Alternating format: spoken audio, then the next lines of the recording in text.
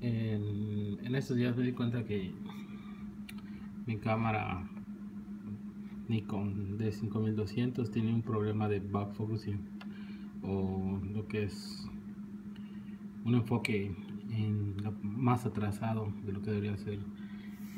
El problema se presenta para mí solo en este lente el 35 mm 1.8 DX y solo es evidente en, bueno para mí fue evidente en la noche en tomas nocturnas cuando estuve usando el 1.8 la apertura 1.8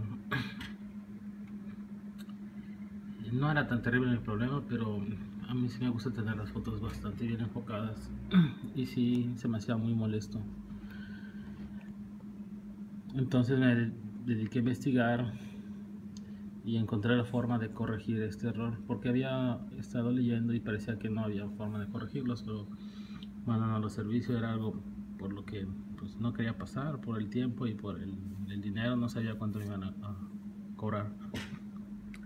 Entonces yo logré encontrar esta información y se las comparto. Es muy sencillo solo necesitamos una llave Allen es pequeña no sé la medida exacta es sería cuestión de que con varias llaves salen vayan comparando hasta que encuentren la medida exacta. De todos modos por el tamaño más o menos pueden calcularle. Es muy sencillo lo único que hay que hacer es pues obviamente apagar la cámara.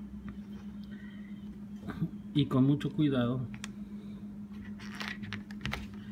eh, se levanta el, el espejo de la cámara Ahí pueden apreciar ese saliente, es un tornillo Allen, bueno, eh, un jack Allen.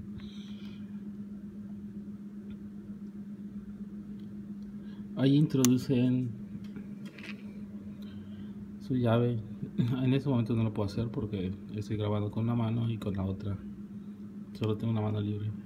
Entonces con una mano levantan cuidadosamente el espejo y con la otra introducen la llave Allen en el agujerito y van girando hacia abajo si tienen un problema de enfoque hacia atrás y hacia arriba si su cámara enfoca adelante. Eso es lo que van a ir haciendo. Es los movimientos son muy leves no sé tal vez un poquito así un octavo de vuelta por decirlo un cuarto de vuelta o menos mucho menos. Todo eso depende de qué tan grave sea su, su problema enfoque si es bastante pues van a ir dándole media vuelta hasta acercarse al, al enfoque adecuado. Una vez que ya estén cerca del enfoque adecuado ya los movimientos serán mucho más sutiles casi imperceptibles es muy poquito. Lo que tienen que hacer es mover el tornillo ir tomando una serie de fotos en diferentes situaciones de luz, lejanas, cercanas, para ver si el enfoque ya está correcto.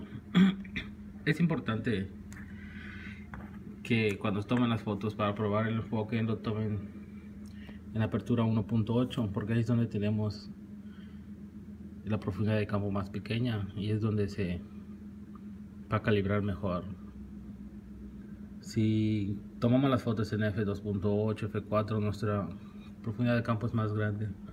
Por lo tanto, al tomar fotos en f1.8 puede ser que no enfoque de manera adecuada. Por lo tanto, les recomiendo tomar todas sus fotos para comprobar si la calibración es correcta en 1.8 o 1.4 dependiendo del lente que ustedes tengan y eso es todo no es muy difícil el problema es que sí les va a llevar bastante tiempo. Bueno, a mí me lleva bastante tiempo porque sí probé en todos, todo tipo de iluminación, todo tipo de lejano, cercano, en tomas un poco difíciles y bastante bien me quedó la calibración.